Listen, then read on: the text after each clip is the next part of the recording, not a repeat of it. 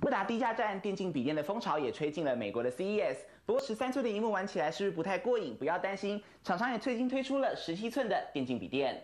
大尺寸的荧幕玩起 3D 游戏超过瘾。电竞品牌厂技嘉参加美国 CES 消费性电子大展，推出新款电竞笔电。虽然荧幕放大到17.3寸，但还是强调笔电的轻薄特性，厚度只有2.25公分，比五元硬币直径还要薄，重量2.8公斤。配合目前市面上笔电最高规的 980M 显示卡，价格可能定在7万五千台币左右，抢攻舍得花的玩家市场。今年我们看到突破会是第一个效能会持续的。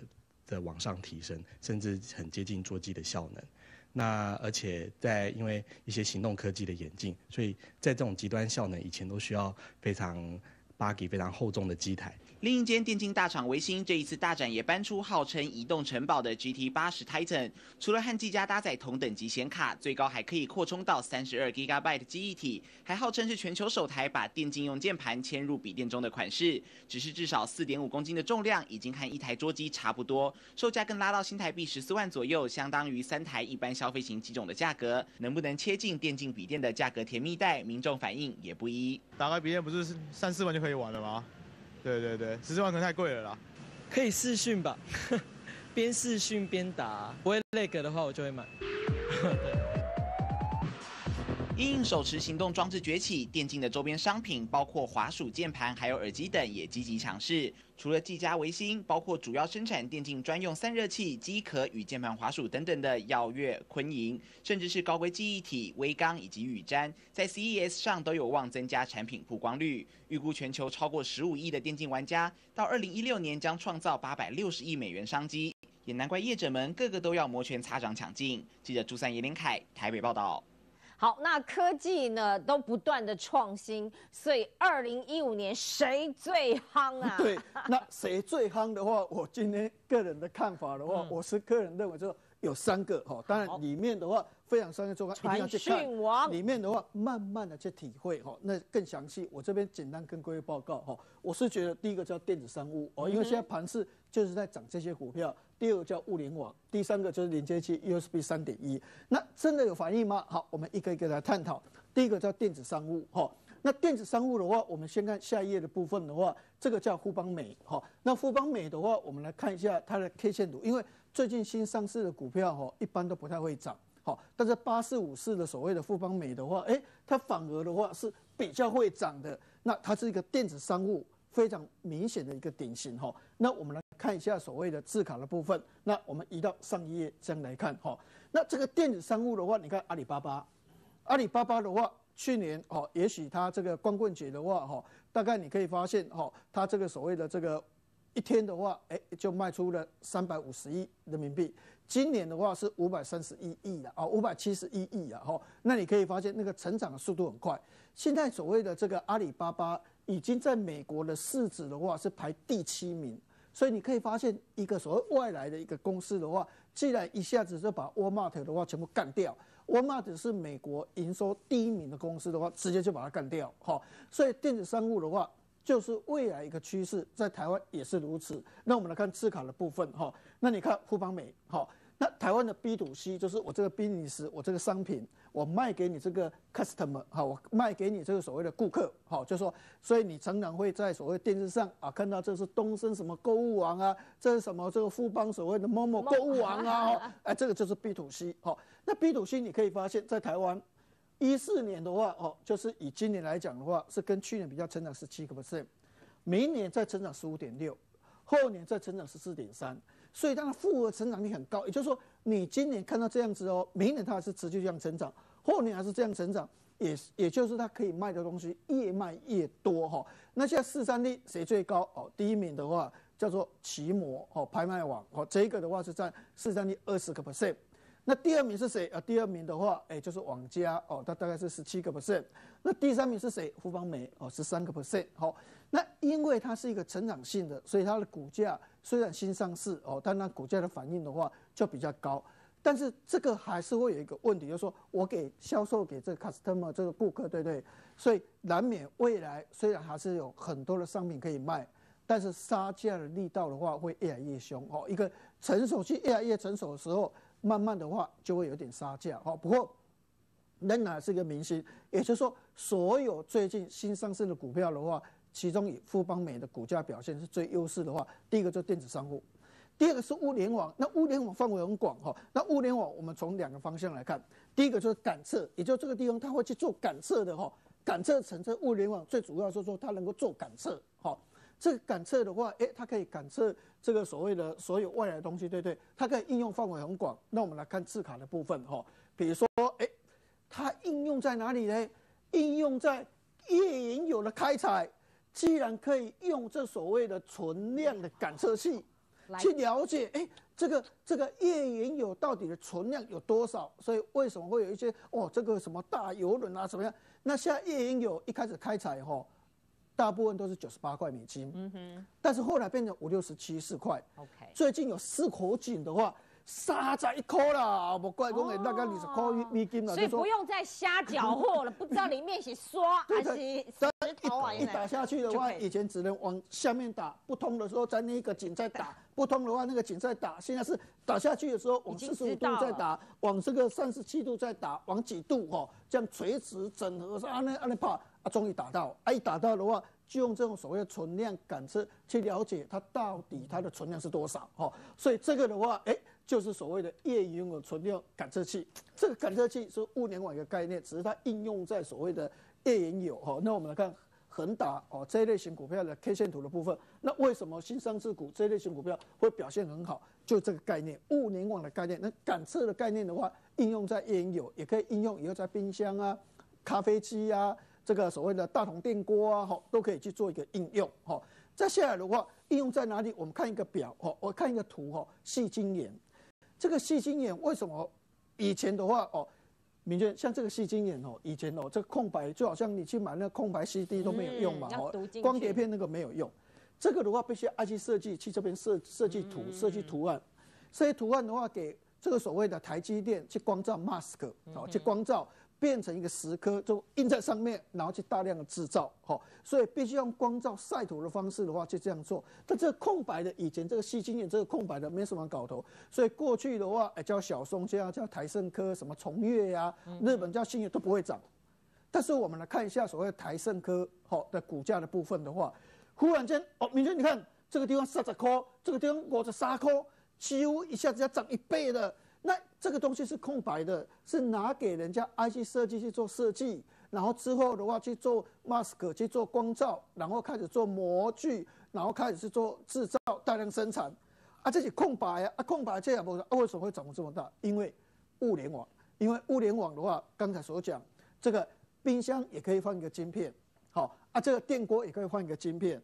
都可以控制它的时间，能够控制它的熟度，能够控制它的容量，可以控制它冷气机的话，也可以控制它的温度，也可以控制到什么，一切都在你的掌握之中。用手机去控制它，用手机控制它，一切都是用行动装置的话去控制你家里面所有东西，都因为有一个所谓的这个这个这个这个，比如说晶片，好，那晶片的话就用细晶眼，所以你可以发现，啊，真的 K R Z 就是物联网的概念。所以为什么最近？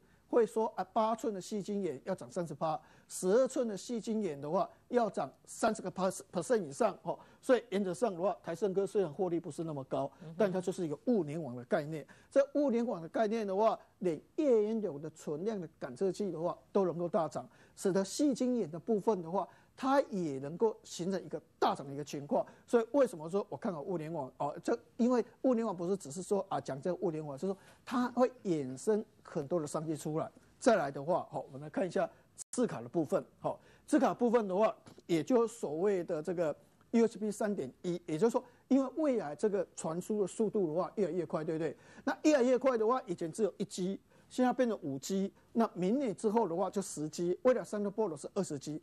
速度越来越快的话，它让所有的电子产品呢形成了一个东西出来，吼，比如说我们看一个字卡叫二合一的装置，这个二合一的装置的话，吼，比如说这样的话就是一个平板电脑，但是现在推出的东西它也可以当 NB，只要你把它接上的话，就就当 NB，键盘把它接上就是一个笔记本电脑，把它拔掉的话，它就是一个平板电脑在用，所以现在都是这种二合一的装置啊，但二合一的装置它要要连接怎么办？它连接的时候的话，就必须要有弹性。好，那我们来看字卡的部分，这个叫做什么？Poco Pin，Poco Pin 的话，我们看那个图的部分，OK，有个 Poco Pin 的话哦，因为你可以发现以前是固定的，但是容易那个哈对对。呀。但是这个的话是弹簧，这个弹弹簧它可以压来压去。以前是固定的，它就容易坏掉。嗯，现在它是个弹簧。那弹簧的话，我们再看二合一的装置，因为你二合一的装置就要拔来拔去，拔来拔去，拔来拔去。你如果太固定了，就会磨损，就坏掉。嗯，但是如果你今天用的是所谓的 Poco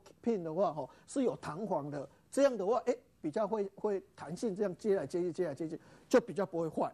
所以你可以发现，现阶段二合一的装置越来越多。好，那这个。USB 三点一这种连接器的一个观念的话，使得 Pro Pin 的话，它的使用量就越来越多。所以原则上，我们来看字卡的一个部分，哈，比如说二一的平板装置，大量使用 Pro Pin 的一个所谓的这个有弹簧力的一个东西，哈。所以我们来看六二七一的所谓的这个中中探针，哎，最近股价涨幅那么大。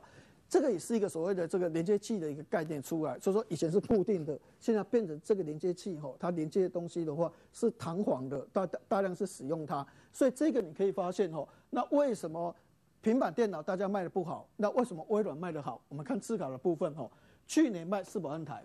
今年的话，其实平板电脑是衰退哦，是没什么成长哦。但是它今年卖到一千万台，好，这是微软的 Service Pro 的部分的话大卖。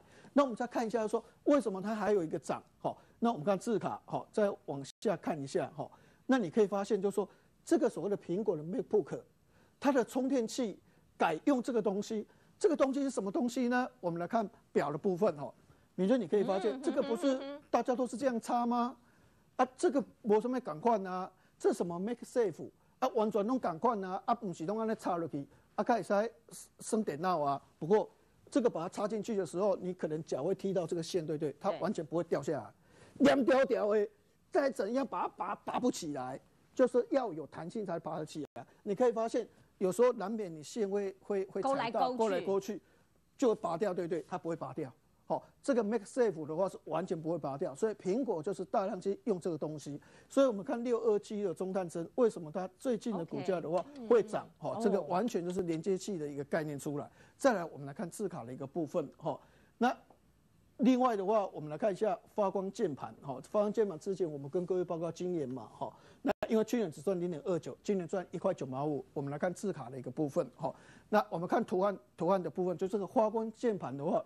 未来的话，一定都是用这种发光键盘。那现在渗透率五十趴，所以未来往九十趴、往一百趴都是发张键盘。所以你往上按的时候、踩的时候都很很方便。好，所以你可以发现二三八七，我们来看 K 线图的一个部分，为什么这段时间表现不错？其实就是时代的一个潮流一个变化。所以我是觉得说，我们现在要找的话，大概有两个趋势的部分的话，也可以注意哈。第一个的话，我们来看大陆股票市场哈，最近。最会涨的股票，当然大陆股票市场在涨，但是你可以发现哦，比如说这个叫盐湖股份零零零七九二，那我们来看这类型族群的一些个股哈，那这边的话二十四点五三创新高，那另外我们来看一下所谓的这个这个另外一档的话哈，也是这边都有创新高哈，最近在大陆的所谓的肥料股的话，其实股价表现也不错，那国内像有所谓的硫酸钾钾肥的部分的话哈，那原则上我们看下一页哦，像东建哦。大概原则上获利的部分的话也会成长。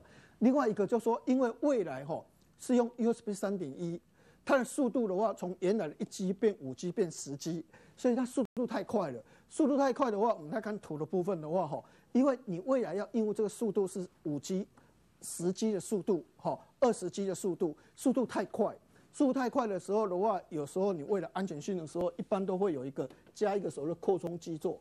这扩充基座的话，还能够做远端，还有多功的一个功能。所以这一种未来随着所谓的 USB-C 三点一，好，速度达十 G，Thunderbolt 速度达二十 G 的一个趋势的话，大部分都会去用这个所谓的扩充器做哈，让多功或是远端的话，它的效能速度会更快，而且比较不会当掉，导入的速度的话会比较好一点哈。所以我们来看字卡的部分哈，所以你可以发现扩充器做叫 Ducking，Ducking 的话，快速导入 ESP 三点一 Thunderbolt 哈，多功远端哈。那以三二七二的东硕为例的话哈，今年这个扩充机做的话，大概出货一百三十万台，明年预估是两百万台，所以原则上明年成长是七十个 percent，跟今年比较的话，几乎是五十个 percent 的一个成长。那我们看字卡的一个部分哈，那另外字卡的部分的话，最近苹果的 Thunderbolt 哈，这个东西的话，原则上的话哈，过去有两家，现在只有一家通过哦，就是所谓的这个 Intel、Apple 的通过。所以原则上在 Thunderbolt 二十 G 的部分的话哈，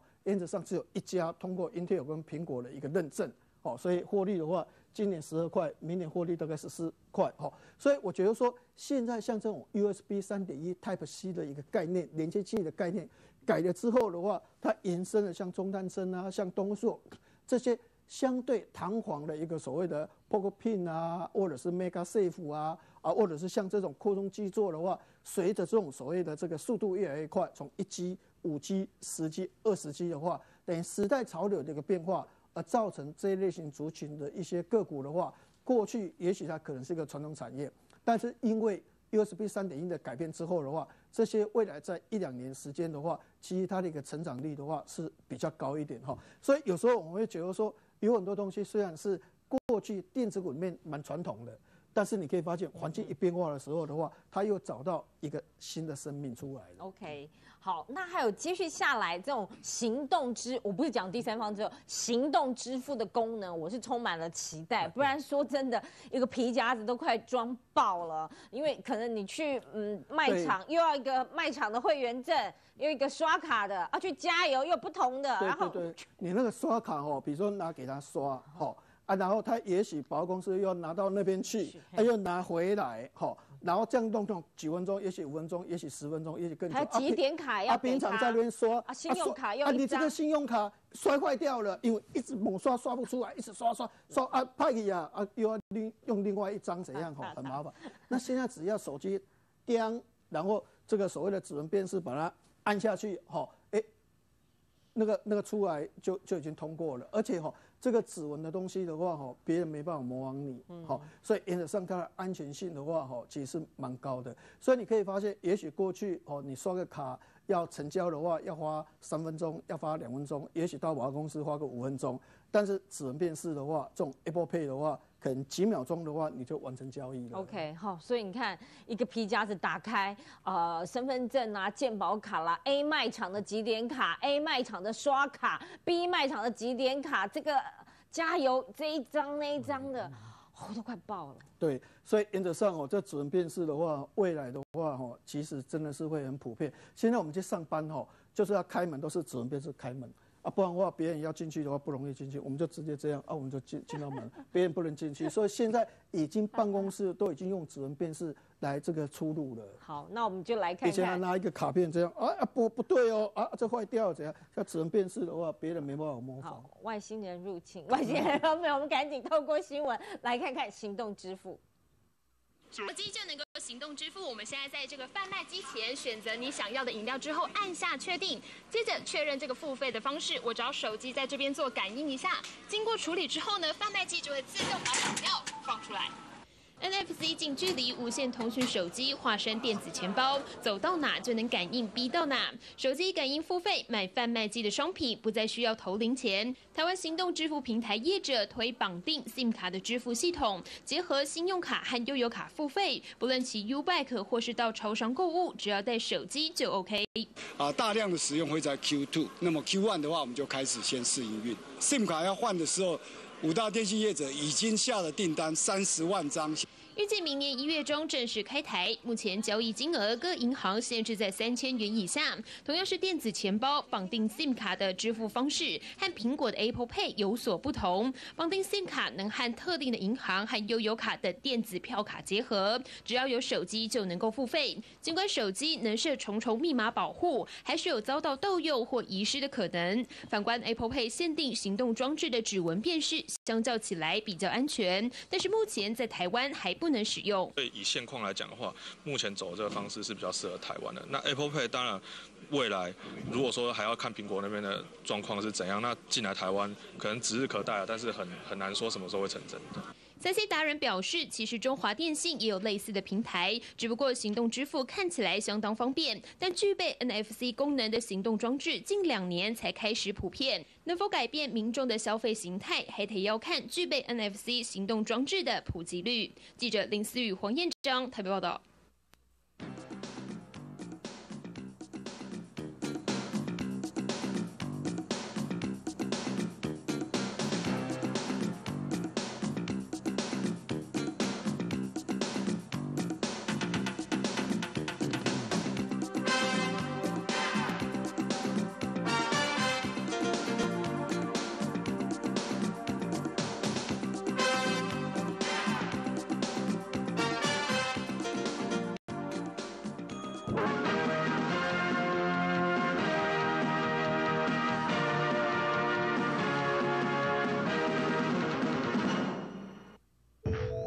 知道吗？变频冷气日本进口非常稀少。日立变频冷气引进日本技术，研发第一台变频三合一空调，冷气、暖气、热水。日立变频冷气销售第一。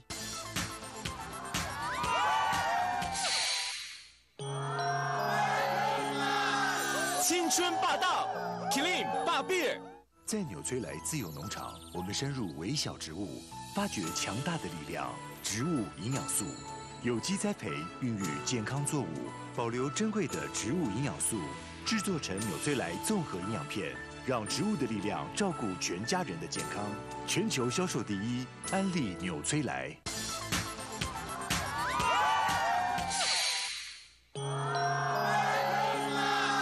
青春霸道，Clean 霸别。幸福是吃出来的，吃要有一个好口腔。我用云南白药牙膏，配合正确刷牙习惯，能帮助减少牙龈出血发生率。好口腔，吃出幸福感。云南白药益生菌牙膏全新上市，刷刷益生菌，健康好清新。八点到十点，非凡股市现场。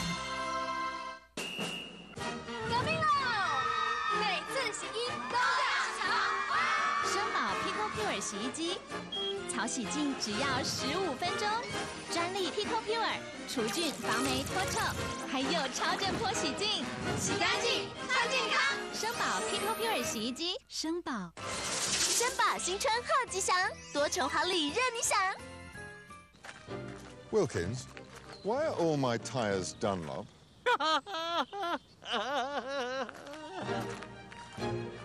强韧安全，爱车之选。Dunlop。喂，你倒来吗？我这边的代志就甲你讲最重要的啊。好好，莫想莫讲啊，莫讲啊，系啊。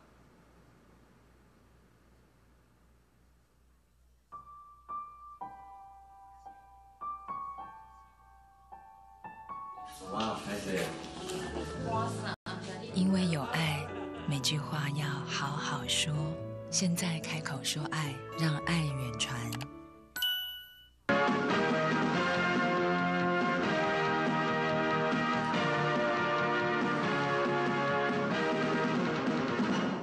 好，回到节目当中，我们透过镜面来掌握一下今天资券的一个变化。今天的融资增加了四点七三亿，融资水位在两千零四十二亿，虽然不多，但是很有诚诚意意。，对对，内资还是有诚意的哦，连续增加四天了。呃，融券的部分，融券哎，哦今天建意思意思，也还是有五十五万张，所以呢，呃，看不好的人还是蛮多的。好，这个水位啦，哈，前几天其实资券都有一头同步增加，代表人气内资还算 OK 啦。下次要外资一回来，我说哎，搞不好量就起来了。所以我觉得是短暂的过渡期。那其实五百多亿不会是常态量啦。好啦，哎就像您说的，呃，这个礼拜有三次透过你们公司的据点跟呃所有的投资人面对面的来研究，而且蛮踊跃，而且蛮热情的，只是对呃一直不知道该不该进来，进来不进来。他们就是说没有方向啦。其实我就跟他说，有很多的东西可以看啊，不是只有等我来啊。非凡电视要看，非凡商业周刊也要看。对，做功课是你对一定要三做功百六十五缸都每。天都要做功课哈。当然呢，我刚刚前面讲，哎，低基期的股票还没有讲完。对，NB 啊，这个刚才讲广达啊、人保、伟创，最近为什么？哎所以这个也不是等你来，周刊已经有五大趋势对，已经写哎。了。那我们看看广达好了。啊，广达的部分呢，当然 Apple Watch 哎底部这边是不是最低点就爆大量？嗯哼，所以呢，它底就慢慢打出来啦。虽然还没有往上突破，但是起码还慢慢涨。会不会一根突破就之后就开始出现转强？哦，这个不妨大家可以去盯着看。另外呢，啊，这个除了 NB 以外呢，啊，网通族群里面也有啊，啊，那个像启基啊、联军啊、中磊。那我们看看启基好了，六二八五的启基，前段时间外资在卖它，结果呢一直卖一直卖，哎，底部爆量了，那底部都爆量了。那最近呢，啊，在整理的过程当中，好像呢这大量区都没有去回补嘛，都没有去回补，算强势了。哦，所以呢外资卖不下去之后，底部爆量，哎，它就有转机性。哦，再看看联军好了，三四五零的联军，同样呢前三季也赚了七块多，啊，基本面不好吗？啊，过去股价跌了那么重下来，哎，这个底也打出来了，底部有没有爆量？一样爆量，法人也回来买了，哎，过去外资在卖，法人也回来买，这个颈线也都守得很稳，这个都是在底部的股票，啊，还有呢，呃，中磊也一样，是不是好公司？一样，业绩也很好啊，前三季赚了三块一啊，啊，这个都是打双底，这最近也出一点量了，只是还不够啊。如果说有更大的量的话，这个颈线哎也突破了，能够站稳的话，它的力道上就会加温。所以我们举这个例子呢，这些电子股呢，通通都是业绩好，啊，低基期的，除了太阳能以外，啊，其他业绩面 EPS 都不错，基期也低，啊，也开始底部放量，所以有人就在吃货，啊，这不排除就是未来一个焦点。那生技也有了。呃，我举这两个有有 EPS 的了哈，不要说啊，都一些没有 EPS。你看这个比较高价，智行呢，啊，这里底部都在爆量啊，啊，这里爆量，啊，还有呢，易泰啊，四一六三的易泰，哦，微创相关的啊，这个设备厂商，这也是跌很深啊，这也是在底部爆这根量，所以开始就往上走了。所以我觉得说，不管哪一个产业，电子也好，船产也好。只要呢，啊，它的业绩还不错，底部有爆量的，代表人在吃货，形态上转强之后呢，你不妨哦，在这边可以去留意这些低基期的一些啊，这个呃被遗忘的一些潜力股。我想啊，除了这个之外呢，哈，这个剩下几天呐，五个交易日啊，明天、后天、下礼拜三天啊，加起来五天，五个交易日里面呢，大家还是想说最后一棒这几天我还可以做什么？其实还是有做账的影子存在，嗯嗯那。呃，其实也是前几期，呃，我在非凡上面都刚讲过集团做账，都传后啊，这个菜色。一定，我们非凡上都提早跟大家讲，哎，未来会发生什么。所以我们刚刚看到，就是说，哎，外资有留这个多单的伏笔哦。虽然就是说，可能嗯，今天多单只增加三百一十六，但是这样子也是算有诚意吧？有诚意，一万多口，呃，一万多口进多单啊，所以我觉得外资应该会回来的，嗯，好，回来几率非常大。除非有天大的利空，哦，不然的话应该是回来。所以我们就要赶快看我们的菜色，搭配那三天的。对啊，所以我我觉得说，呃，集团股